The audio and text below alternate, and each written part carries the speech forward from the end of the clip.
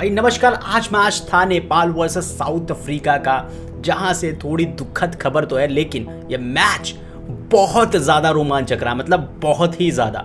जी हाँ इस मैच की हाइलाइट्स हम साथ में देखते हैं अभी, कि कहाँ पर नेपाल फंसा और कहाँ पर नेपाल स्ट्रांग था। इस पूरे मुकाबले में नेपाल का पलड़ा पूरी तरीके से भारी था, साउथ अफ्रीका को दबा के रखा था। यहाँ पर अच्छा बॉलिंग भी था नेपाल का अच्छा बैटिंग भी था, पर लास्ट में एक जो चूक हो गई जिसकी वजह से नेपाल ये हार गया मैच और एट द एंड तक लग रहा था कि इस मैच को नेपाल जीत जाएगा और आगे क्वालिफाई कर जाएगा। लेकिन कहीं ना कहीं नेपाल के झोली से उस लास्ट बॉल पे छीन के साउथ अफ्रीका ने इस मैच को जीता है। और मैं ये कहूँगा, यहाँ पर एक प्रेशर था जो वो नेपाल को महँगा पड़ गया। पहले साउथ अफ्रीका बल्लेबाजी कर रहा था, नेपाल बॉलिंग कर रहा था और नेपाल की बॉलिंग काफ़ी अच्छी चल रही थी।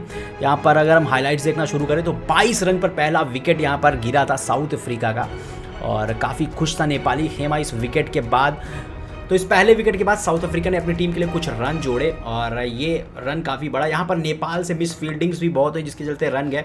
साथ ही साथ यहाँ पर कुछ मिस फ़ील्ड हुई साथ ही साथ कुछ कैच भी छोड़े नेपाल ने, जहाँ पर ये एक आसान सा कैच था जो छूटा, जो पहले ही साउथ अफ्रीका को रोक सकता था। लेकिन उसके बाद भी 68 पर नेपाल को जो है ना, दूसरा सफलता हासिल हुई, जहाँ पर रनों की रफ्तार को थोड़ा कम करने में नेपाल सक्षम हुआ। उसके बाद फिर 74 पे करीबन मुझे लगता है कि तीसरा विकेट गिरा, जो कि ये करण केसी ने कैच लगभग छोड़ ही दिया था और ये कैच छूटने ही वाला था but at the last moment यहाँ पर एक हाथ से उस कैच को लिया गया तो बहुत अच्छा कैच हालाँकि छूट गया था।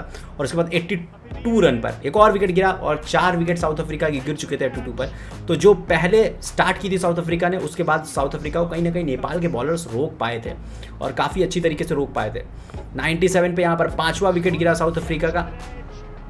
और करीबन 115 रन पर छठा और उसके बाद 115 पर ही सातवां विकेट भी गिरा साउथ अफ्रीका का। तो सारे विकेट गिर गए थे। नेपाल ने बहुत अच्छी बॉलिंग की थी और साउथ अफ्रीका ने मात्र 170 रन बनाए थे। फिर नेपाल आया था बैटिंग करने। नेपाल ने भी काफ़ी अच्छी शुरुआत की। बैटिंग चल रही थी अच्छी खासी। आसिफ और बुलतेल खेल रहे थे और आसिफ काफ़ी अच्छा खेल रहे थे। काफ़ी ज़्यादा देर तक क्रीज पर टिके रहे और बुलतेल भी काफ़ी अच्छे शॉट्स लगा रहे थे। छक्का भी लगाया। ये बैक पे एक अच्छा छक्का लगाया था। काफ़ी अच्छे अच्छे शॉट्स देखने को मिल रहे थे। और यहाँ पर बढ़िया बाउंड्रीज भी लग रही थी।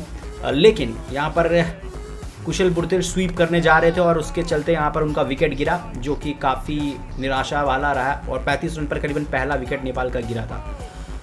और उसके बाद दूसरा विकेट गिरा कप्तान रोहित पौडेल का, जो कि आपने देखा था, जो पुराना वाला अभी था बॉल टर्न हुई पूरी तरीके से विकेट पे लगी।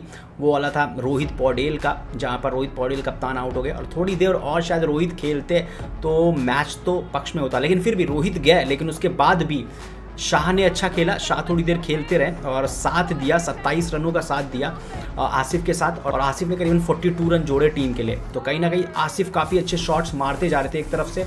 और साथ में शाह भी उनका साथ दे रहे थे। अनिल कुमार शाह काफ़ी अच्छे शॉट्स मार रहे थे और काफ़ी अच्छे लंबे शिट्स देखने को मिल रहे थे। और 85 पर यहाँ पर तीसरा विकेट नेपाल का गिरा, जो कि एक और दुखद खबर थी। अनिल कुमार शाह यहाँ पर चलते बने। उसके बाद एक और विकेट और 99 पर चौथा विकेट नेपाल ने खोला। लेकिन फिर भी नेपाल बहुत स्ट्रॉन्ग पोजीशन पर था। आप देख सकते हो कि 16 रन चाहिए थे 13 बॉल थी नेपाल के पास। जो कि बहुत आसान था इस मैच को नेपाल के लिए जीतना। और चार विकेट ही खोए थे उस समय ही एक चौथा विकेट सौ रन पर गिरा था। यानी कि तीन विकेट करीबन गिरे थे उस समय। आराम से खेलते तो इस मैच को आराम से नेपाल जीत सकता था। क्योंकि बॉल्स भी बहुत थी और रन भी बहुत कम ही बनाने थे। सिर्फ़ सोलह रन बनाने थे, तेरह बॉल्स पड़ी हुई थी और विकेट्स भी अपने हाथ में थे। लेकिन यहाँ पर नेपाल से काफ़ी गलती हुई, यहाँ पर प्रेशर में आते गए। और हम देखेंगे आगे जैसे हुआ क्या। एक तरफ़ से अच्छी बल्लेबाजी हो रही थी, यहाँ पर विकेट खोया, एक और नेपाल ने। पाँच विकेट गिर गए थे, फिर छः विकेट गिर गए और एक सोमपाल कामी की तरफ़ से बहुत लंबा छक्का मारा। ये पूरा पार हो गया स्टेडियम, इतना लंबा 105 मीटर का छक्का मारा था सोमपाल कामी ने कि मज़ा आ गया था इस छक्के को देखकर। ऐसा लग रहा था कि अभी मैच जीत जाएँगे, क्योंकि कामी यहाँ पर अभी थे और लग रहा था कि गुलशन झा भी साथ देंगे उनका, साथ ही साथ यहाँ पर ये मैच नेपाल जीत जाएगा। फिर अच्छे हिट्स लगे और चौके लगे। अब लास्ट में यहाँ पर रह गए थे, दो रन सिर्फ़ बनाने थे एक बॉल में। अच्छे हिट्स लगते ही जा रहे थे, क्योंकि इससे पहले हम देख रहे थे यहाँ पर जो था, चार बॉल बची थी, आठ रन थे। एक शॉट लग गया था, एक चौका लग गया था, जिसके बाद यहाँ पर सिर्फ़ बचे थे दो रन, एक बॉल लास्ट में, जो एक बॉल पर रन बनाए थे। और लग रहा था कि मैच जीत जाएगी। अगर एक रन भी भागता नेपाल तो टाई हो जाता। लेकिन यहाँ पर पूरा अंडर प्रेशर में थे और सोमपाल कानी सोमपाल कामी अपोजिट साइड में थे, आगे थे गुलशन झा, यहाँ पर एक रन बनाना था। और ये बॉल काफ़ी ज़्यादा इंपॉर्टेंट थी, नेपाल के लास्ट बॉल थी ओवर की, और ये बॉल जब कराई गई तो काफ़ी बाउंस बॉल थी, जिसको यहाँ पर नेपाल खेल नहीं पाया। और इस बॉल को अगर शायद थोड़ा दूर अगर पहुँचा पाते तो ये एक सिंगल मिल जाता, ये मैच ड्रॉ हो जाता। लेकिन फिर भी भागे, और लास्ट में यहाँ पर कहीं ना कहीं झिझक रही, तुरंत भाग जाना चाहिए था, शायद तो पहुँच भी जाते।